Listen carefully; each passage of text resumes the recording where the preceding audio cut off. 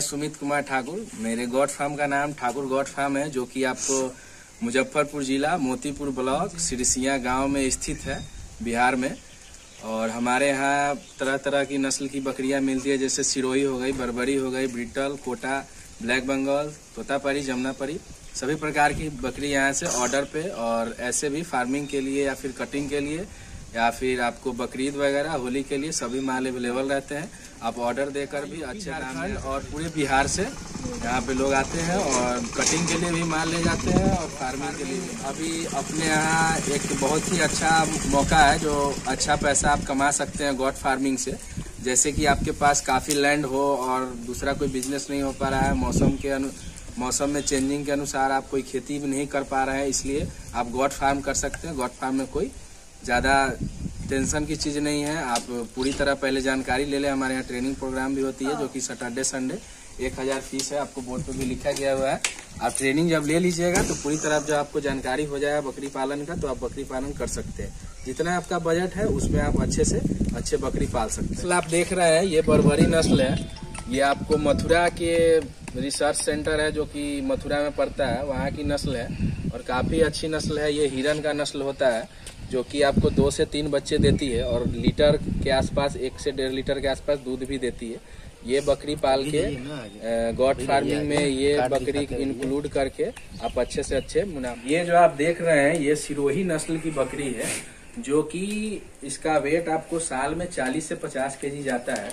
और इसका बच्चे देने का क्षमता साल में दो बार बच्चे देती है और एक से दो बच्चे देती है। और बच्चे का वेट इसका ढाई से तीन केजी होता है। ये बकरी आप पाल सकते हैं और यहाँ का रेट आपको इसका साढ़े तीन सौ रुपये पर केजी के हिसाब से मिलता है। ये ब्रीडर हुआ है सिरोही का, जो कि अभी अदंत है और तकरीबन चालीस केजी के वेट में। जिस भी आदमी को खरीदना हो, यहाँ से ये मिल जाएगा आपको चार सौ रुपये के जी के हिसाब से। हमारे पास है, जैसे कि अभी बरबरी है ये बरबरी नस्ल हो गई, ठीक है ना? हिरन की नस्ल है, जो कि अभी थोड़ी देर पहले आपको बताया ये चार सौ रुपये के जी हमारे यहाँ अवेलेबल है और हमेशा अवेलेबल रहता है, जिस भी आदमी को चाहिए आप यहाँ से कॉन्टेक्ट करके ये ले सकते हैं।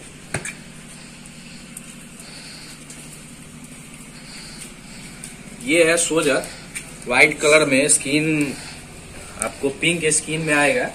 सोजत है ये साढ़े चार सौ रुपये के जी हमारे यहाँ से सेल होता है। जिस भी भाई को चाहिए, ये आपको हम आपको दे सकते हैं।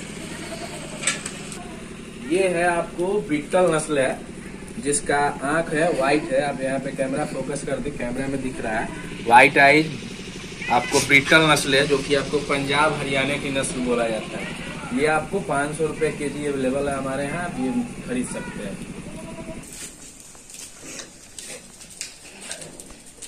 ये जितनी भी ये जितनी भी बकरी आप देख रहे हैं, सभी सेलिंग के लिए है।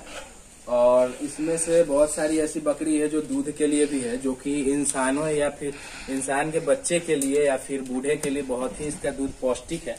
ये देख सकते हैं, काफ़ी इसको दूध है। अगर ये दूध 200 ग्राम प्रतिदिन कोई आदमी अगर पीता है या बच्चा पीता है तो हमेशा के लिए वो स्वस्थ रहेगा। सप्ताह में कम से कम दो दिन। काफ़ी दूध वाली बकरियाँ हैं जो बरबरी भी एक लीटर, डेढ़ लीटर के आसपास करती हैं, सिरोही भी एक लीटर, डेढ़ लीटर के आसपास करती है। और जो भी आदमी खरीदना चाहते हैं हमारे डिस्प्ले पे नंबर आएगा, आप उस पर कॉन्टेक्ट करके ले सकते हैं। धन्यवाद।